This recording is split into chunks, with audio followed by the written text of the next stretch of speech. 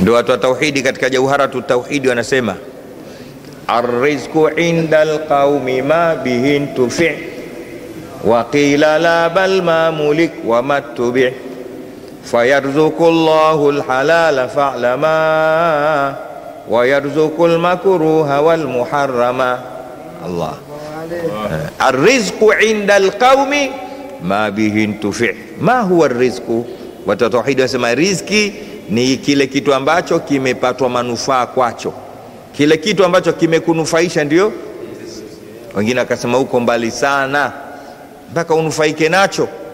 Aa, Waqila la bal mamulik, hapana, ni kile ambacho mtu aliwahi kukimiliki hata kama hajawahi kunufaika nacho. Kaenda dukani kanua simu, kabla hajaiwasha ishakuwa riziki yake, ikipotea ni riziki yake ile iliyopotea. Kapewa mshahara kazini, kabla hajafika nao nyumbani kapijwa kabali, wenyewe wamechukua, ni riziki yake. Na yule aliochukua pia nini?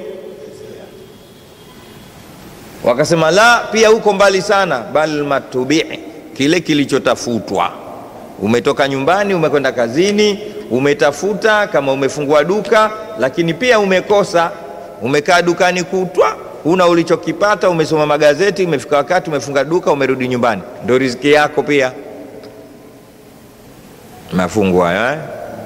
Sasa kwa mtiririko huu, fayarzuku llahu lhalala falama wayarzuku lmakruha walmuharama, Mwenyezi Mungu anaruzuku riziki ya halali, Mungu anaruzuku riziki ya haramu, Mungu anaruzuku riziki makuruhu. Sawa sawa.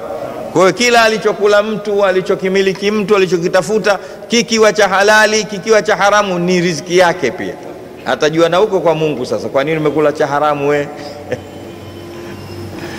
Kwa nini umekuja na riziki ya haramu?